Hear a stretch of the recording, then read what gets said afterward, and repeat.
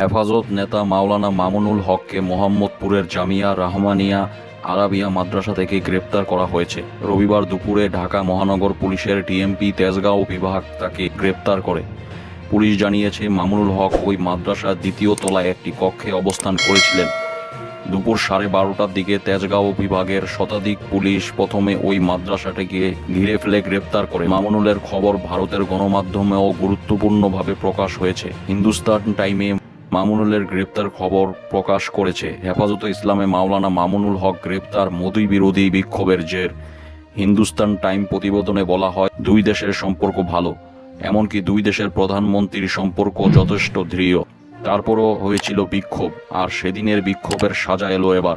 বাংলাদেশ সফরে গিয়েছিলেন ভারতের প্রধানমন্ত্রী নরেন্দ্র মোদী। তখন পদ্মাপাড়ের বিভিন্ন জায়গায় মোদী বিরোধী বিক্ষোভ দেখানো হয়েছিল। আর এবার তার মূল চক্রী হেফাজতে ইসলামের কেন্দ্রীয় যুগ্ম মহাসচিব মাওলানা মামুনুল হককে গ্রেপ্তার করল ঢাকার গোয়েন্দা পুলিশ। পশ্চিমবঙ্গের জনপ্রিয় দৈনিক সংবাদ প্রতিদিনে ঢাকায় গ্রেপ্তার মোদী বিরোধী বিক্ষোভের মূল চক্রী হেফাজত ইসলামের নেতা শিরোনামে খবর প্রকাশ করেছে। প্রতিবেদনে লেখা হয়েছে, মার্চে ভারতের প্রধানমন্ত্রী নরেন্দ্র মোদীর বাংলাদেশে সফরের প্রতিবাদ জানিয়ে হেফাজত ইসলামী ঢাকা, চট্টগ্রাম সহ বিভিন্ন জায়গায় ব্যাপক হিংসা ছড়ায়। ধারাবাহিক এই বিরোধিতার জেরে আঠারো জনের মৃত্যু হয়েছিল। তখন থেকেই পুলিশের স্ক্যানার ছিল মামুনুল। এর পরপরই ঢাকার অদূরে সোনারগাঁওয়ের এক অবকাশ কেন্দ্রে এক যুবতী মামুনুল ধরা পড়ে।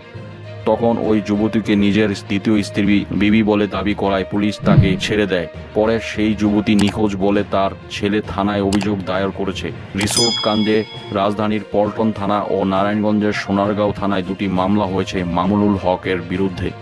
ঢাকায় মোদী বিরোধী বিক্ষোভে আঠারো জনের মূল চক্রী মামুনুল ধরা পড়ল। আজ শিরোনামে খবর প্রকাশ করেছে ভারতের গণমাধ্যম দা ওয়াল। এছাড়াও আরও বেশ কয়েকটি ভারতীয় গণমাধ্যম মামুনুলের গ্রেপ্তারের খবর প্রচার করেছে।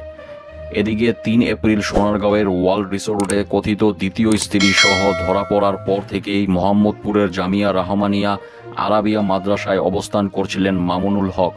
ঘটনার পর থেকে পুলিশ তাকে নজরদারির মধ্যে রেখেছিল। এই ঘটনার পর হেফাজতের বেশ কয়েকজন নেতাকে গ্রেপ্তার করা হয়।